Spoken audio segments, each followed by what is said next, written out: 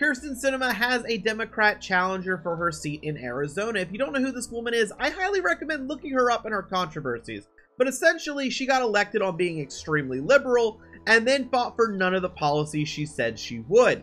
She also didn't return to her state for any town halls because her approval rating is basically non-existent. She claimed she didn't have time, but she did have time to fly to Switzerland to do a high five with Joe Manchin for a photo op recently. She has one of the most conservative voting records for a Democrat in Congress, and again, remember, she ran on being extremely liberal.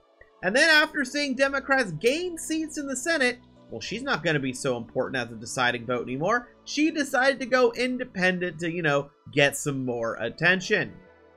Now, the man running against her is behind me, and you can look up about him, and maybe one day I'll do a bigger, deeper dive into his policies. But honestly, the difference between him and Sinema is night and day, and just by having a D next to his name and proving that he votes like a Democrat is supposed to, I fully expect him to end up winning this seat. But he did have a message at one point to Marjorie Taylor Greene after January 6th.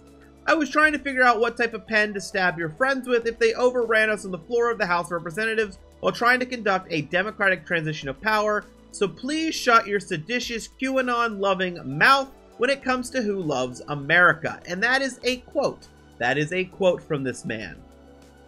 He uh, he, he wasn't very happy with her uh, her attitude, to say the least. Uh, I do expect him to do very well in this election when it happens.